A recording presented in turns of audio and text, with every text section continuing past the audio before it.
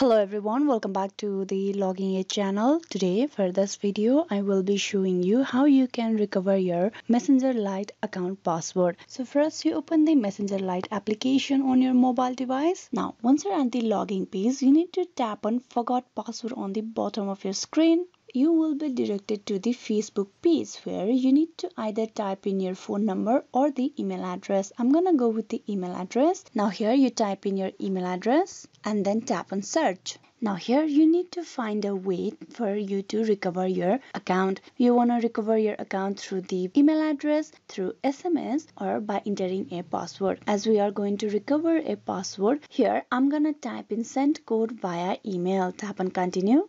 Now Facebook has sent you a code on the email address of yours. Now you need to type in that code over here. I'm gonna go check my mail. Here is the code from Facebook account for the recovery.